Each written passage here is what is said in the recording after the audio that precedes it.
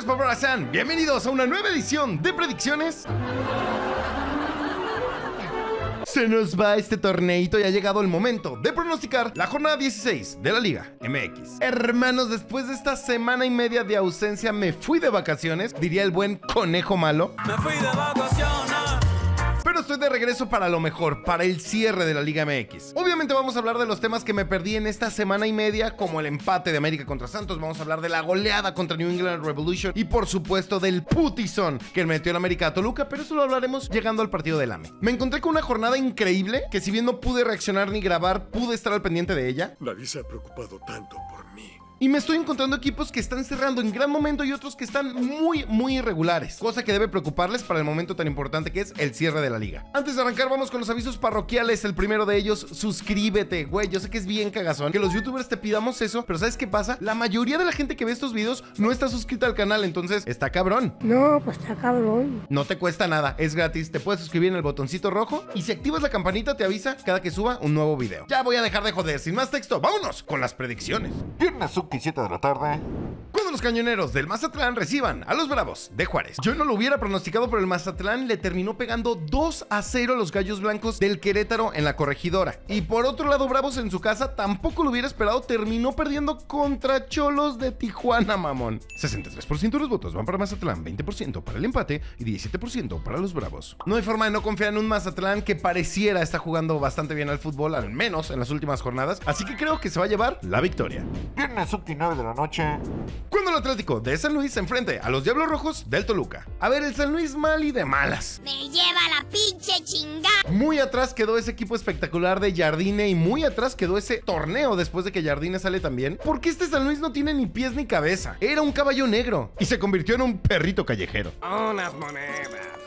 Unas monedas, señor. El San Luis viene de tener cuatro derrotas en sus últimos cinco partidos, o sea, un papelón. Y por otro lado, ¿qué vamos a decir del Toluca? Llegó como líder general a la última jornada y terminó perdiendo 5 por 1 en el Estadio Azteca frente al América. El Toluca nos demuestra que cuando ataca, ataca increíble. Juega muy bien, pero defiende a ni madres. 83% de los votos van para el Toluca, 11% para San Luis y 6% para el empate. No nos hagamos, aunque San Luis juega mucho mejor en su cantón, la coherencia nos dice que Toluca es favorito. Por eso creo que los Diablos se van a llevar los tres puntos. Viernes sub 9 de la noche. Cuando los cholos de Tijuana se enfrenten a los camoteros del Puebla. Extra, extra. Ya ganaron los cholos. El penúltimo lugar de la tabla general por fin ganó. El Piojo Herrera consiguió sus primeros tres puntos, justamente visitando a los Bravos de Juárez. Y del Puebla, que vamos a decir, el último lugar del torneo, el último lugar de la tabla. Torneo para el olvido para los camoteros y a reestructurarse y armar algo, porque la neta, güey, parecen equipo de segunda. La falta de respeto abunda por aquí. 38% de los votos van para Tijuana, 37% para el Puebla y 24% para el empate. Mira, güey, solo porque es el Puebla y porque el piojiño de mi cora ya ganó, voy a confiar en los cholos, pero no mames, de verdad mis respetos a quien se quiera aventar este partido en la tele. Creo que los cholos se llevan los tres puntos. Sábado 5 de la tarde. Cuando la fiera se enfrente a los rayados de Monterrey. Muy lejos también quedó este león que jugaba increíble con Matosas, este león que jugaba impresionante también con el profe Larcamón. Y justamente terminó perdiendo en la jornada anterior contra los Pumas, visitándolos en CEU por la mínima, 1 por 0. Es raro porque León tiene Por ejemplo, venían de tres partidos consecutivos ganados y ahora vienen de dos derrotas consecutivas. Y eso que tienen un gran equipo de mitad de campo para arriba. Pero no sé, equipo irregular. Por otro lado, Rayados de Monterrey se jugó un gran clásico regio. De esos que nos vienen prometiendo y nunca llegan y por fin esta vez nos demostraron que puede ser un gran partido. Rayados de Monterrey va perdiendo 3 a 1 en su casa el clásico y terminó empatándolo 3 a 3 con gol de último minuto. 83% de los votos van para Monterrey, 11% para León y 6% para el empate. Sigo insistiendo que equipos bien armados tenemos que exigirles más y sí, le tengo que exigir que aunque va a una cancha complicada, Monterrey tiene que sacar los 3 puntos. Es por eso que creo que aunque es una cancha difícil, creo que Rayados se lleva la victoria. Sábado 7 de la tarde. Cuando los Tigres de Universidad se enfrentan a los Rayos del Necaxa. ¿Qué decir de los Tigres, cabrón? Tenías todo, Tigres, tenías todo servido en la mesa. 3 por 1 le ibas ganando muy temprano en el partido a tu acérrimo rival y la cagas. ¡Ah! Siboldi y el equipo se tiraron atrás desde el minuto como 57-60 y qué manera de regalarse para que después les caiga el 3 a 3. Empate con sabor a derrota para los de Universidad y por otro lado el Necaxa, no mames con los de Don Ramón. Yo le voy al Necaxa. 27 puntos, quinto lugar de la tabla general, cuatro victorias y una derrota en sus últimos cinco partidos. No mames con este Necaxa, ¿eh? ¿Qué se siente ser un dios? Se está convirtiendo obviamente en el caballo negro en esta edición de este torneo. Y cuidado, porque en liguilla Necaxa puede ser mata gigantes. 72% de los votos van para los Tigres, 18% para Necaxa y 10% para el empate. A ver, en cualquier escenario, obviamente y por plantel daría como favorito al equipo felino, pero no mames, el Necaxa anda increíble. La localía pesa muchísimo en el volcán, no obstante creo que Necaxa llega increíble y creo que van a empatar y van a dividir puntos en este partido. Sábado 7, 5 de la tarde. Cuando las Chivas Rayadas del Guadalajara se enfrenten a los Gallos Blancos de Querétaro. Miren así.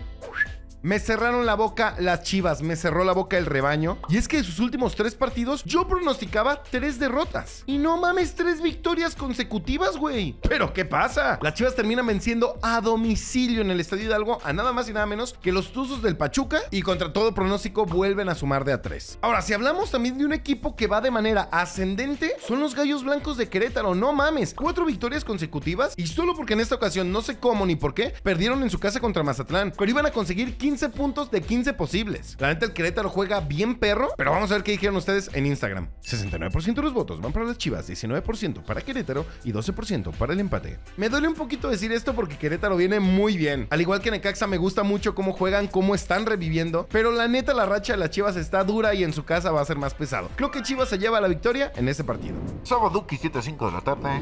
Cuando Santos Laguna se enfrente a los Tuzos del Pachuca. Santos es un equipo muy irregular. Terminó perdiendo 2 a 0 en este último partido frente a Necaxa, justamente, pero luego no entiendes cómo le sacó el empate al América. No tengo la menor idea. Les digo, es de estos equipos 5-6 que están a la mitad de tabla que no sabes qué esperar de ellos. Creo que con la llegada de Nacho Ambriz, la neta, Santos ha ido mejorando. No obstante, no terminan de agarrar el pedo. No agarran la onda y no están sacando los puntos que deberían. Por otro lado, el Pachuca, a la inversa de lo que les dije, de 5 partidos, 4 derrotas y una victoria. No mames. ¿Qué pasó con el Papachuca? Y como les dije, acaban de perder contra Chivas cuando lo recibieron en el Estadio Hidalgo. Y aquí la cuestión es, Pachuca tiene que tener un montón de cuidado porque se va a enfrentar nada más y nada menos que a las Águilas del América en semifinales de Conca Champions. Hoy es un gran día para morir.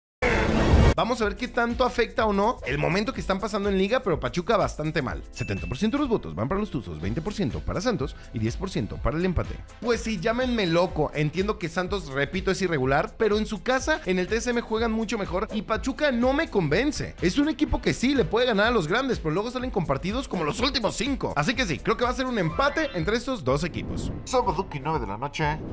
Cuando los Pumas de Universidad se enfrenten a las Águilas del América. No sé qué esperar de los Pumas, güey. En esta ocasión pudieron vencer por la mínima, como les dije, con gol de Piero Quispe, a un León que por una parte del partido jugó con un hombre menos, pero totalmente irregulares. Al Toto Salvio hasta me lo están abucheando. No sé, no sé qué esperar. Creo que va a estar peleando ahí el play-in, que si se mete a la liguilla, por supuesto que es peligroso, pero los Pumas, raro. Y por otro lado, me pondría de pie para hablar de las Águilas del América, pero no te mames. Vámonos rapidito. Lo primero, empate contra Santos. No tuvieron las reacciones en el canal. Como les dije, estuve de viaje los últimos 12 días, pero me pareció un partido en el que si América jugaba con titulares podía sacar los tres puntos. Se apendejaron, quisieron dar rotación, ni pedo. Después el América destrozó a New England Revolution, entendiendo que es uno de los peores equipos de la MLS, pero no mames, el América no se relaja. Yo voy a mi destino y voy a ganar. Salió con cuadro titular, les metió un putizón y clasificó a las semifinales de la Conca Champions. Y para finalizar, no mames, qué exhibición la que dio no solo Diego Valdés, no solo Fidalgo, no solo Henry, no solo Brian, no solo Quiñones, no mames, a lo que te juega el América y por supuesto Malagón, que cada que se le exige ese cabrón está más bestial que un partido anterior. No sé qué tan lejos o cerca está el techo del América, el mejor nivel posible, pero lo que estamos viendo es un nivel muy por encima del resto de los equipos de la Liga MX. Se nota que cuando el América quiere jugar, cuando están atentos y hacen lo que saben, no mames, son imparables. El actual campeón del fútbol mexicano le metió 5 goles al que era el líder de la tabla general. Los Diablos Defienden muy mal por atacar de más y no puedes jugarle al tú por tú al América teniendo los jugadores que tiene tanto en titular como en banca. Con esa victoria el América se consolida como líder general de la competencia y ahora visitará a los Pumas. 79% de los votos van para el América, 15% para Pumas y 6% para el empate. Para muchos lo fácil en este partido será irse por empate. No, güey. Si el América nos viene demostrando lo que puede jugar, tienes que confiar más porque Pumas no viene ni cerca de ese nivel. Por supuesto que creo que el América se va a llevar los tres puntos en Ciudad Universitaria y que va a ser un pinche perro partidazo.